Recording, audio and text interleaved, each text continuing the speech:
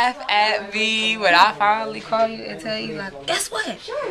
Put him in, took him out with no problems. That's And you're right. gonna be like, uh huh. Now remember when This- you got them? That's right. This video is to commemorate the fact that You don't. You can once upon a time, Dyhemia could not get her first set of contact lenses into her eyeballs without freaking out.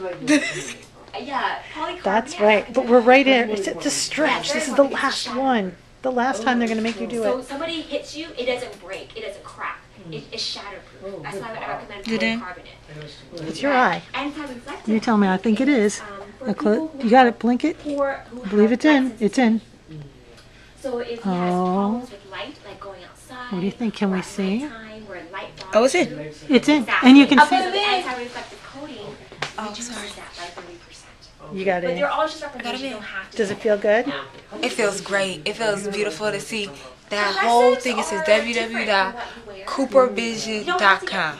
Yeah, you don't have to get it. Where the heck is That that? says 8.7 dresses give you that min- Wow. minus. to the prescription. I can see.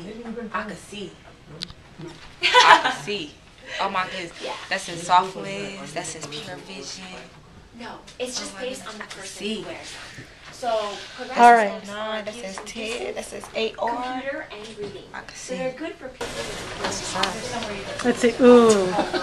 I like I'm those better. These. I'm feeling these. I like those. these. Yeah. Hey, yeah. Um, yeah. Yeah. When was the last time you could see? Two years ago. Two years ago. I see. So two years. Um, is there a way that you can keep my, Okay. my card?